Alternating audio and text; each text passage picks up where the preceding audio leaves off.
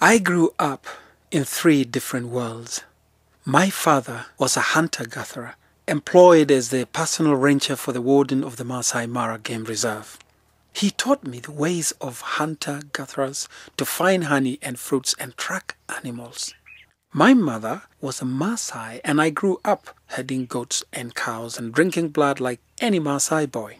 My teachers were brothers of a Catholic school.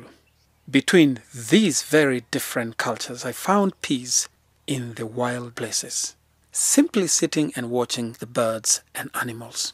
A man called Ron Beaton changed my life. He told me the Mara was Kenya's place of gold, and he offered to teach me how to guide. For seven years, he taught me about flora and fauna before he allowed me to guide alone. Later, he made me a partner in his business. I have always felt a strong sense of connection with big cats.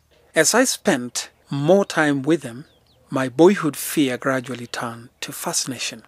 I discovered that I have an instinct for them.